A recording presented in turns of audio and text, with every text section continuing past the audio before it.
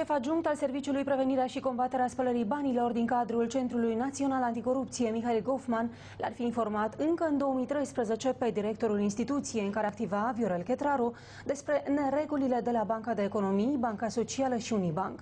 Portalul Agora.md a intrat în posesia unui raport în care este prezentată schema prin care un număr de companii afiliate lui Ilan Shor și Vyacheslav Platon ar fi scos din cele trei bănci peste 4 miliarde de lei.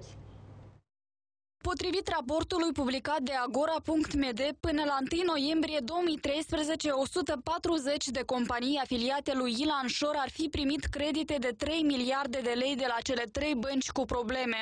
Alte 26 de firme care aveau legături directe sau indirecte cu omul de afaceri Vyacheslav Platon ar fi împrumutat de la BEM Banca Socială și Unibank 1,2 miliarde de lei. Cele două grupuri de interese ar fi acționat împreună. În același raport pe care Viorel Chetra Arbitrarul ar fi primit în noiembrie 2013 cu titlu secret, Mihail Goffman anticipa că neregulile de la Banca de Economii vor avea efecte dezastruoase asupra întregului sistem bancar din Moldova și ar pune în pericol securitatea statului. Cu titlul de informație comunicăm că situația parametrilor bilanțiere în societatea pe acțiuni Banca de Economii sunt denaturate și artificial menținute prin diferite scheme voalate și frauduloase, care vor escalada. Conducerea Băncii de Economii încalcă limite limitele indicatorilor prudențiali și reglementările Băncii Naționale a Moldovei, iar eventualele situații dificile ale băncii comerciale pot avea efecte asupra sistemului bancar autohton în întregime. Considerăm că această situație este fără precedent și dezamorsează întregul sistem bancar autohton, care va avea un efect domino asupra securității statului Republica Moldova. Se spune în raportul care a fost expediat de Mihail Goffman. Nu se știe dacă Viorel Chetraru l-a citit. Cert este că pe document figurează figurează semnătura lui. Am încercat să aflăm de ce șeful CNA nu a dispus